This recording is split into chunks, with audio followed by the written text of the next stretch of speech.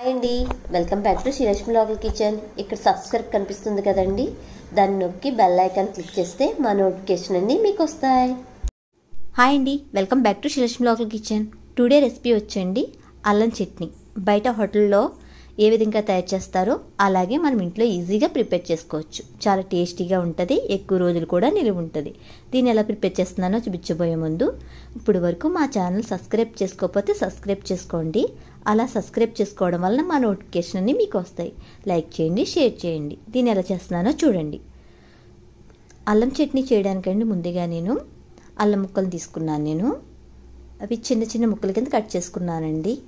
అలాగే మినప్పప్పు శనగపప్పు బెల్లం ఎండుమిర్చి చింతపండు చిన్న సైజు అంత చిన్న నిమ్మకాయ సైజు అంత తీసుకున్నానండి. జీలకర్ర వెల్లుల్లి కరివేపాకు అలాగే ధనియాలు ఆయిల్ అండి. ముందుగానండి చింతపండు అండి నానబెట్టుకోవాలి. నానబెట్టుకున్నానండి ఒక ఐదు నిమిషాల పాటు. ముందు గ్యాస్ వెలిగించుకుని ప్యాన్ పెట్టుకుంటున్నానండి. దీంట్లో ఎక్కువ ఆయిల్ కూడా వేసుకునే అవసరం లేదు. నేను టూ స్పూన్ ఆయిల్ వేస్తున్నాను. ఆయిల్ వీటెక్కుతుంది కదండి. శనగపప్పు కూడా టూ స్పూన్స్ వేసానండి. అలాగే మినప్పప్పు కూడా. కొంచెం వేగనివ్వాలి. వేగుతున్నాయి కదండి. మనకి దోరగా వచ్చినప్పుడు వెల్లుల్లి రెబ్బలు. అలాగే జీలకర్ర వన్ స్పూన్. అల్లం ముక్కలు కూడా వేసేస్తుందండి అవి కూడా వేగాలి బాగానే. ఎండుమిర్చి ఒక ఎనిమిది కాయలు తీసుకున్నానండి ఎండుమిర్చి. కరివేపాకు. అంటే అల్లంలో కొంచెం ఘాటు ఉంటుంది కాబట్టి ఎండుమిర్చి ఎనిమిది కాయలు సరిపోతాయండి. పచ్చిమిర్చి కూడా తీసుకోవచ్చు కానీ ఎండుమిర్చి అంత టేస్ట్ పచ్చిమిర్చికి ఉండదు. ఇవి ఏగుతున్నాయి కదండి బాగా ఎగినవి మరి బ్రౌన్ కలర్ వచ్చేంత వరకు వేయించుకుంటే చాలు. నేను ధనియాలు వేస్తున్నానండి టూ స్పూన్ ఇందులో మెయిన్ ఇంగ్రీడియంట్స్ ఏంటంటే హోటల్లో చట్నీలా రావాలంటే కంపల్సరీ ధనియాలు యాడ్ చేసుకోవాలి. నేను టూ స్పూన్ ధనియాలు యాడ్ చేశాను. అవి కూడా కొంచెం బ్రౌన్ కలర్ వచ్చే వరకు వేయించుకోవాలి. వేగుతున్నాయి కదండి.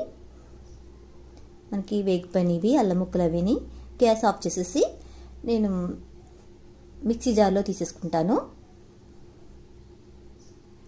చల్లారిపోయినాయి కదండి మిక్సీ జార్లో తీసేసుకుంటున్నాను అన్నీ మనకి చట్నీ అండి పెసరట్లోకి కానీ ఇడ్లీలోకి కానీ దోశల్లోకి కానీ చాలా బాగుంటుంది. చింతపండు కూడా నానిపోయింది కదండి అది కూడా వేసేస్తున్నాను.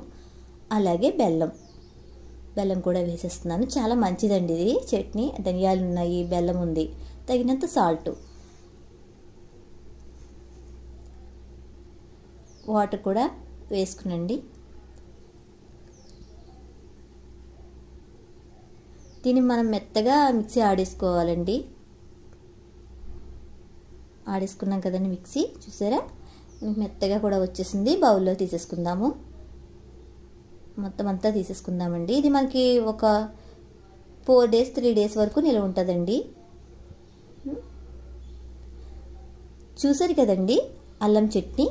బయట హోటల్లో ఎలా ఉంటుందో చట్నీ అలాగే ఈజీగా ప్రిపేర్ చేసుకోవచ్చు. చాలా టేస్టీగా కూడా ఉంటుంది. ఇడ్లీలోకి దోశలోకి కూడా బాగుంటుంది. మా వీడియో కనుక నచ్చితే తప్పక లైక్ చేసి షేర్ చేయండి సబ్స్క్రైబ్ చేయండి. Thank you for watching